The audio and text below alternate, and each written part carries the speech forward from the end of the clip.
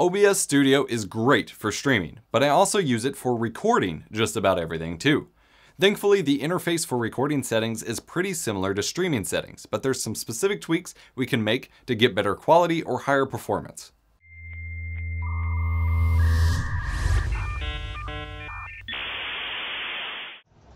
Are you tired of your streams or voice chats sounding like this? Do you want the comfort and quality of high-end headphones without sacrificing microphone quality?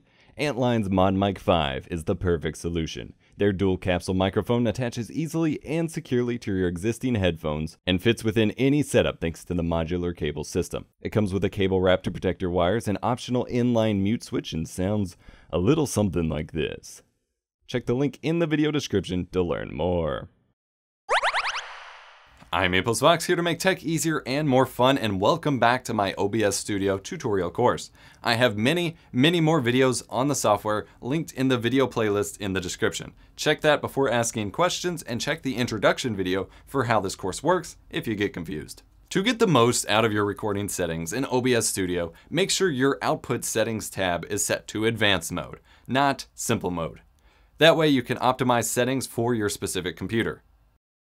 Make sure you're on the recording tab too, of course. If you're working with a recording only profile, then it doesn't matter what the streaming tab settings are, as you should never click start streaming.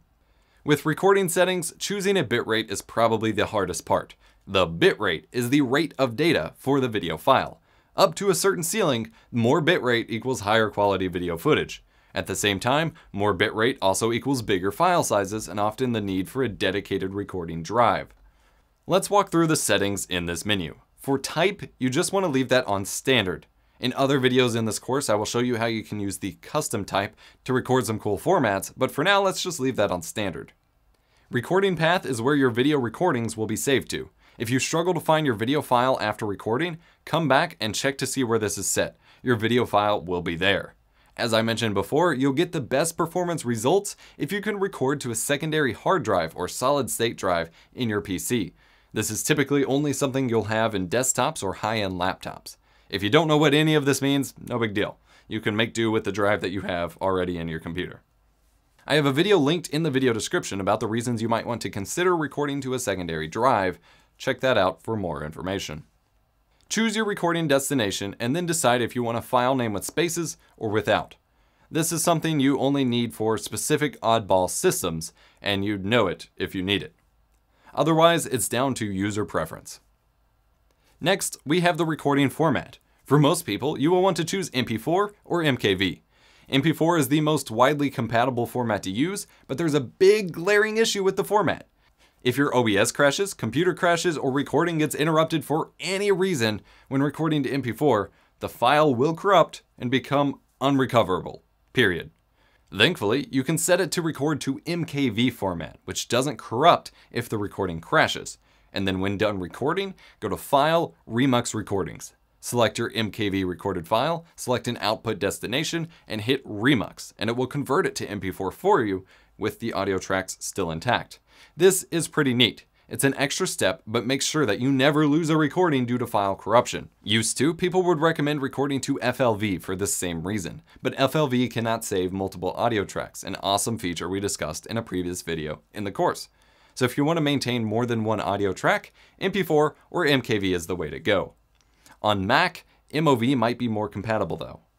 Speaking of multiple audio tracks, below the recording format selection, you have the option to select which audio tracks you do want to record. I usually record all of them and then ditch the ones I don't need in editing. For more information on how to properly set this up, check out the multiple audio tracks video in the course playlist. It's a handy feature. Next up can be a big decision for some, choosing the encoder. This is something that advanced users can take advantage of to really improve their performance and quality, but most average users will probably want to leave on X264. If the profile you're setting up is also a streaming profile and you just want an exact copy of your stream, you can select Use Stream Encoder and be done. It automatically knows what to record and you're good to go.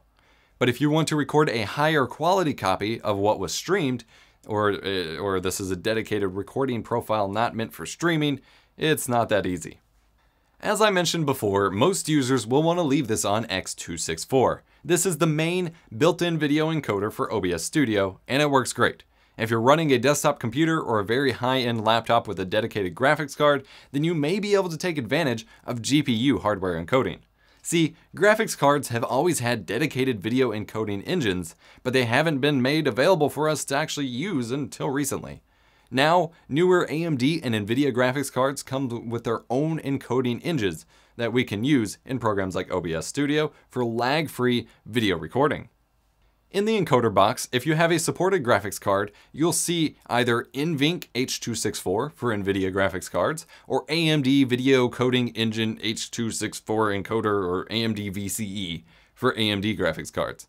Choosing this will allow you to record high quality recordings without impacting your computer's performance. This just utilizes the extra performance headroom on your graphics card without using up your CPU or anything. I use it to get lag-free 4K 60 FPS recordings all the time, and it can benefit you too. You can use it for streaming as well if your PC struggles a lot with the streaming process, but typically X264 looks better at lower bit rates, such as when streaming, whereas NVENC and AMD's VCE look better at higher bit rates for recording. If you want to record to a lower resolution than your resolution set in your video settings tab, you can check the rescale output and change the resolution here. Typically, if you want this to affect recording settings, you would change this in the video settings tab, whereas you would change this on a per stream basis for your streaming settings. Leave custom muxer settings blank, unless you already have a specific reason for using it. You have a couple options with rate control. For streaming, using CBR is typically recommended, but recording is more flexible depending on your system. In my experience, you get the best performance results by using CBR or VBR. VBR stands for variable bitrate and allows the data rate to change based on the amount of action in the scene.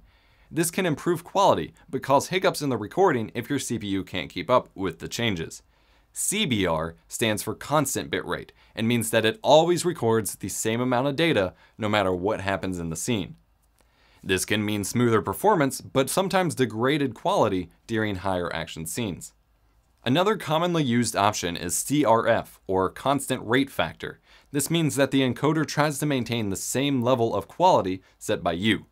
This leads to higher quality in recordings depending on the CRF value you set, but can create much larger file sizes and much higher impact on your performance. CRF 23 to 20 provides a good balance of image quality to file size and performance, though a CRF of 18 can provide a much higher image quality if your PC can handle it. The numbers are counterintuitive. The lower the CRF value, the better the quality provided. If you're using a hardware encoder like NVENC, I highly recommend just going with VBR. Let's knock out a couple other settings before we touch on bitrate. Keyframe interval should be set to 2, this is required for YouTube and Twitch while streaming and help keep, helps keeps things compatible overall with your videos. If your CPU is struggling with the encoding process, you can raise the CPU usage preset higher, which will use less CPU resources and the recording process will be smoother. This will have a small impact on image quality, however. Leave other settings as is. CPU usage preset isn't anything to worry about with NVENC or AMD VCE since they run on the graphics cards instead of the using the CPU. Now we can tackle the almighty bitrate. With streaming, the main limitation of what bitrate you can set is your internet upload speed. With recording, it's a little different. You have to consider what kind of hard drive you're using, the maximum supported bitrate of whatever devices you're recording from, and so on. It sounds more complicated than it is, though. For easy reference, these are the recommended upload bit rates for YouTube videos. For 1080p, YouTube recommends between 8 and 12 megabits per second, depending on your frame rate. For 4K, that number goes up to 35 to 68 megabits per second. However, keep in mind that this is the recommended bitrate that you upload your final videos at. Generally, you want to record at a higher bitrate than you render at. You can always compress your video more during editing and rendering, but you can't add more quality back to a video. And rendering at the same bitrate you recorded at can still lead to some compression artifacting and things like that. One last factor to consider is how long you plan on recording. See, My normal recording profile for videos involves recording at a massive bitrate, 200 or more megabits per second, but when I started live streaming, I couldn't use my overkill bitrates anymore as my multiple hour long live streams were generating files that were hundreds of gigabytes in size. It's kind of hard to maintain that on a three times a week schedule if you want to maintain the VODs. So my stream recording profile is set to 30 megabits per second. This maintains a good balance of quality to file size for my stream VODs, and is the maximum bitrate supported by the original Elgato Game Capture HD, so the file size are competitive enough for just cutting out quick stream highlights and is still way better quality than the original stream. The big thing I typically urge you to think about is the location of where you save your recordings. As I mentioned before, recording to a secondary hard drive or SSD would get you the best results.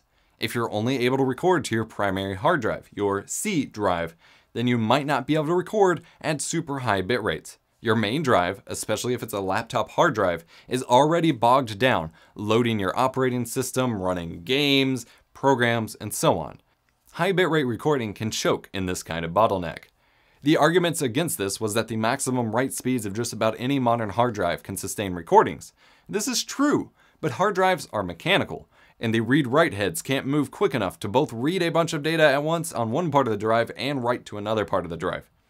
Lower bit rates should be fine, however. Also, if your computer has a USB 3.0 or better port and you have a USB 3.0 hard drive, you can likely use that to record directly to instead. Do some testing before committing to a full recording session and see what works for you. As far as my personal recommendation goes, for 720p or lower, I recommend recording about 8 to 10 megabits per second. Higher if you're doing any major editing. For 1080p recording, I recommend recording 25 megabits to 40 megabits per second. For 1440p or higher, I definitely recommend recording at 45 megabits per second or higher. For 4K, you'll want to go 50 megabits per second or higher, but I recommend 100 megabits per second or more if your computer can handle it. At that point, you absolutely should be using NVENC or AMD VCE encoding instead of X264. If you're doing a strictly recording profile, your audio bitrate should all be set to 320 kilobits per second. Having top quality audio is important, and there's no reason to record to a lower audio bitrate. Again, the ultimate rule with changing any settings is to perform multiple lengthy recording tests before starting a real recording session. You want to make absolutely certain that your settings are solid and reliable before committing to a proper session and finding out that it didn't work. Recording settings can seem intimidating or scary, but they don't have to be. It's about trial and error to find your sweet spot settings and taking your time and performing tests as you go. I hope this episode of my OBS Studio tutorial course has been helpful for you. If it was, drop kick that like button, get subscribed for more awesome tech videos. If you like game streaming, come follow me on Twitch and drop by the chat. I'm EposVox. Happy streaming. Thanks for watching this episode of my OBS Studio tutorial course. More videos like this and a full master class are linked in the playlist in the video description. Click to learn more. Also, consider joining us on Patreon to help keep tech education free. Go to patreon.com slash eposvox to sign up.